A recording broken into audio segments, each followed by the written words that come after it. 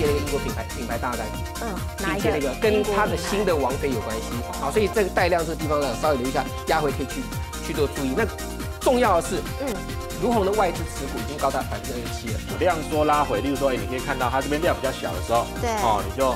挂给给它多少个蛋啊？啊，等到了，等到盘一段时间，哎，营收出来，它就会往上冲。就是说它的营收，我们在看它的营收是逐月成长。在下周如果有机会带量突破，这个高点相对上面来讲是有机会可以可以过去的。如果说获利跟营收能持续出来的话，那个高可能就不会是高点。请锁定富裕向前冲，一起来当大富翁。